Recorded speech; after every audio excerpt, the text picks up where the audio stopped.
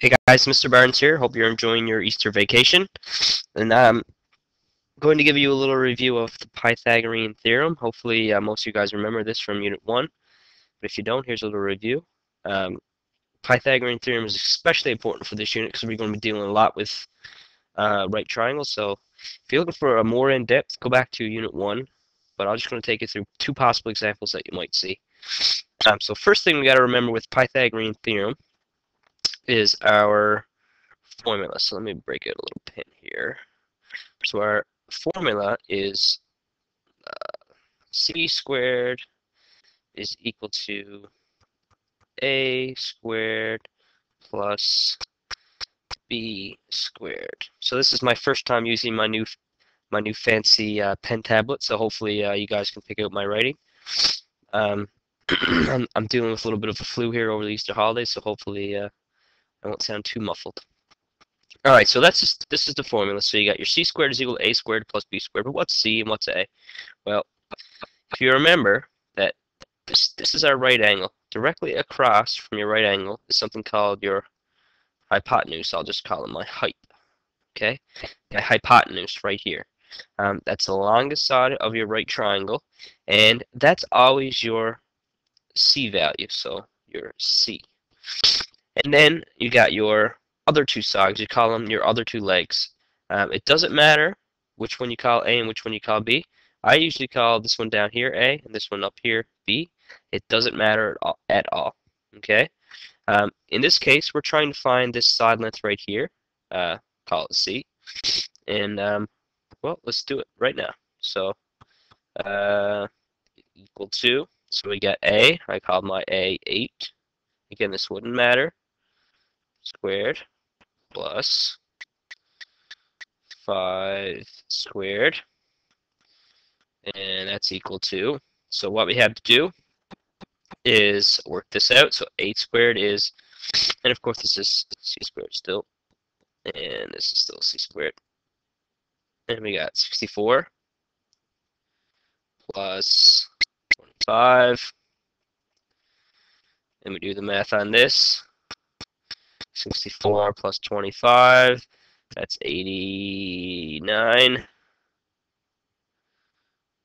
Okay, so let's see squared.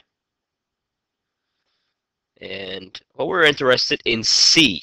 Okay, so if we want to find C, what we had to do is take the square root of 89. So square root of 89.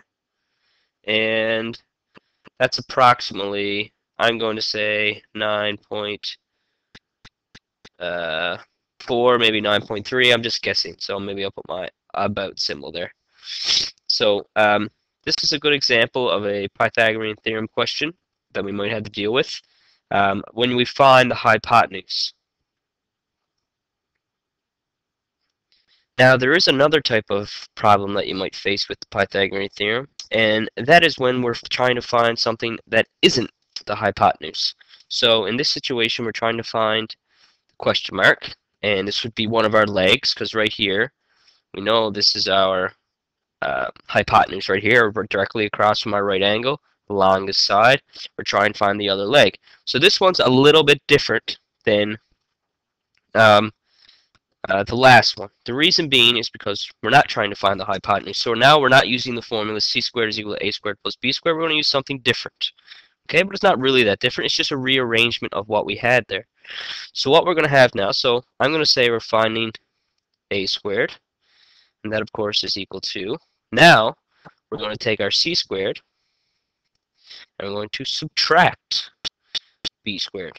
Okay, so we're subtracting now instead of adding. Anytime we're not finding the hypotenuse, which is the only other two possibilities with finding this side right here, or this side of the right right triangle, we have to subtract. Okay, so we have our 13 squared minus 5 squared.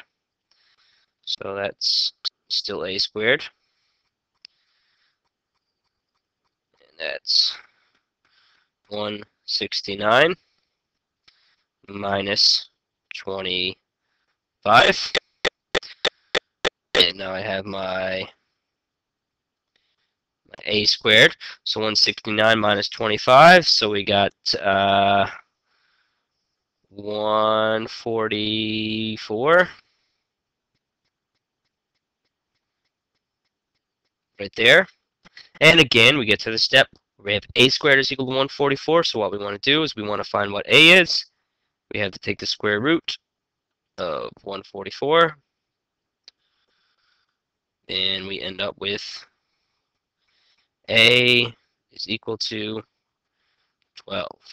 All right, so there's our question mark. Our question mark is 12.